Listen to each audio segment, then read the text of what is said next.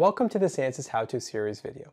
ANSYS Mechanical is a user interface used for conducting all types of mechanical simulations, from statics to dynamics, from heat transfer to multiphysics and more. While the mechanical user interface is intuitive, understanding the design philosophy, overall window layout, as well as how to navigate will be valuable whether you're a new user or just coming back for a quick refresher on the user interface. We'll discover that the mechanical tree outline essentially controls everything contextually in the user interface, and therefore what you see depends on where we are in that tree outline.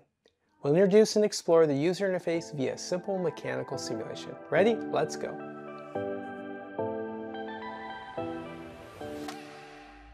We are inside ANSYS Workbench, which is the most common approach to opening mechanical. We'll use a simple static structural analysis as an example throughout this video. The material models have already been defined in the engineering data cell, and the geometry has already been imported via the geometry cell. Double-click on the model cell to launch mechanical. You can also double-click on the solution as well as the results, all will direct you to the mechanical interface. Now we have mechanical open, the interface is divided into several regions. The tree outline is on the left, the ribbon at the top, and currently the Home tab is visible, the Details region on the lower left, the Geometry window, and the status bar. We will see the meaning and function of each region as we build up the model and run the simulation. Each of these windows can be undocked and docked in a new location. Manage Operation on the Home tab allows us to show or hide various windows and workspaces as necessary, and we click Reset Layout to go back to the default layout. The tree outline is where all the model information is defined and shows the overall workflow. Depending on which object is highlighted, the Context tab and Details region and even the right mouse button menu options change correspondingly. There are some tabs that are always present on the ribbon, such as File, Home, Display, Selection, and the Automation tab. As the name suggests, these tabs have options that conduct important operations such as save and export the project, define units, change the display settings, change the selection mode, among many others. Now let's set up an actual model and run a simulation. We will walk through each object in the tree outline and help you get familiar with the mechanical UI navigation. Looking from the top of the tree outline to the bottom, we can see the objects needed to complete a simulation. First, we need the geometry to start with, and we need to define materials for the geometry. You may have noticed some symbols in the tree outline. A question mark means there is information that needs to be defined, and a green check mark means the object is valid and up to date. A yellow lightning bolt means the object is invalid or non-existing. Now let's click on the solid body in the geometry. We notice the details region has changed. The corresponding details about the solid geometry are now listed here. We see that the material assignment is highlighted as yellow, which means information needs to be defined. So let's select a material for this geometry. Now we have assigned the aluminum alloy to the body, and we can see that the yellow highlight is gone and the symbol has become a green check mark. Repeat the material assignment procedure to convert all the question marks to green check marks. At the same time, you may have noticed the title on the Context tab has changed. The Context tab shows valid operations related to a highlighted object in the tree outline. So each time you click on the new object, the Context tab will update. So if we now select Geometry, we can see the Context tab becomes Geometry, and it lists many geometry-related options, such as insert a point mass, modify the element orientation, as well as many others. We can achieve a similar objective by right-clicking on the geometry, then selecting Insert. The Context tab and right-click on the object are interchangeable, and the two approaches we will use extensively to set up the model.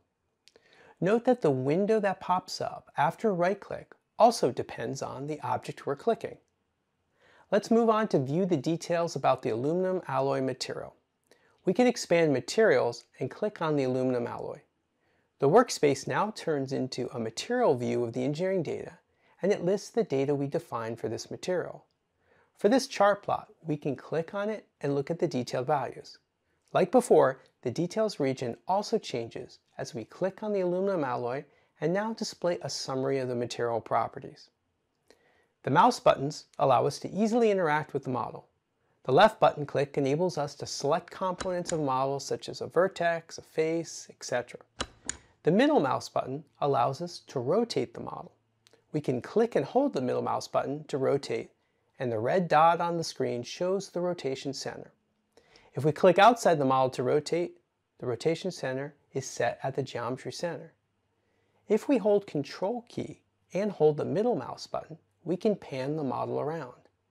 Lastly, the right mouse button allows us to zoom into a region.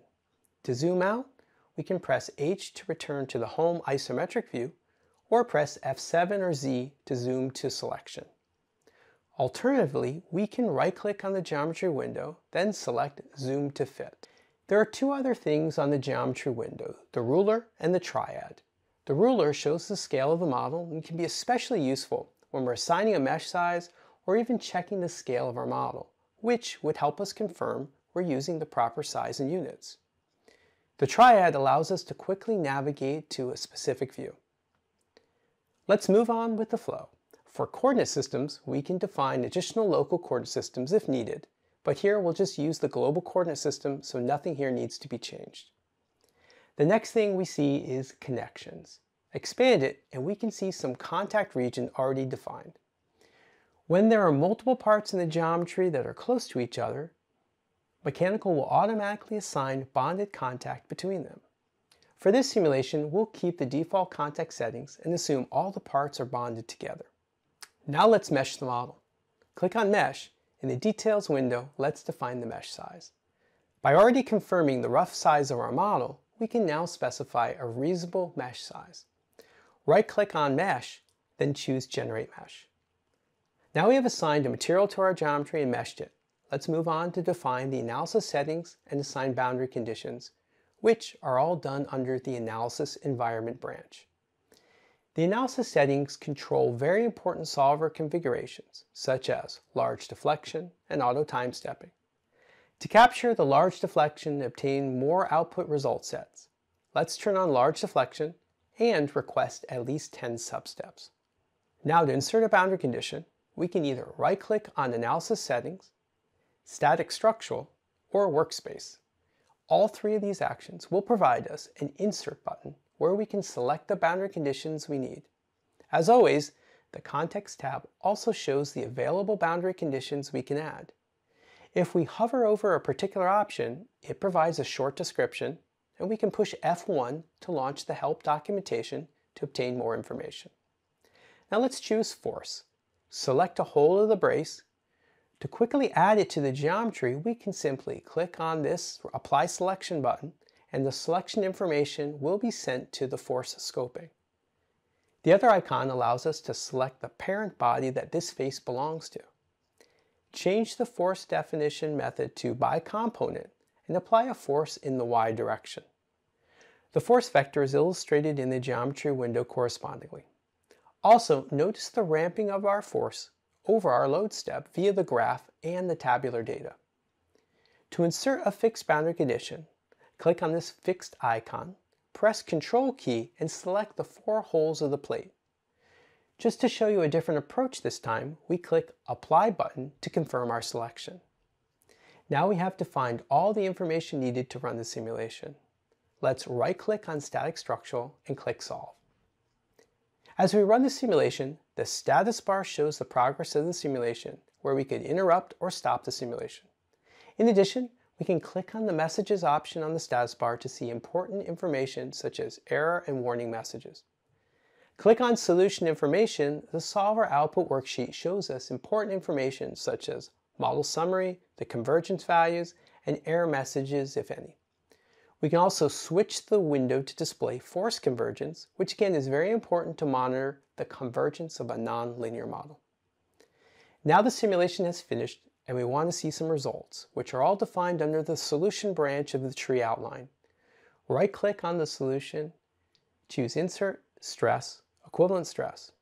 Right-click on the stress object and choose Evaluate All Results. Now we can see a nice contour plot of our stress. On the top Results tab, we can modify the display settings, such as the deformation scale or the plot style. Down below, we have a history graph of the max, min, and average values from the contour plot and the accompanying tabular data. We can also control which frame we would like to show the contour plot, and then even play an animation over the result sets. Finally, let's now make a section cut of the model to look inside. But how would we know where in Mechanical to find that or other such options? Let's use the quick launch, type in the word section, and we'll quickly find what we're looking for. Pick section plane, take me there. We're now shown exactly where we can find this option in the user interface. Pick section plane, draw a line to slice the model, and we can now see inside.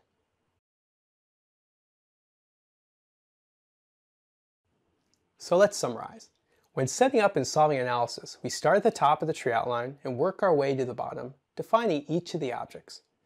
ANSYS mechanical user interface changes depending on what is selected in the tree outline, and this includes the Context tab, the Details, what's displayed in the Graphics window, as well as the right mouse button menus, which is a quick and handy way to access various options. As you start to become more comfortable using the mechanical user interface, just remember that if you're ever lost, take a look at the tree outline and see what you've highlighted. You can jump around and click on another object on the tree outline to perform different operations or make changes to your model setup. If you find this video helpful, please like, comment, and subscribe. To find more information about the mechanical user interface or other topics, please check our channel for more how-to videos and visit ansys.com courses today.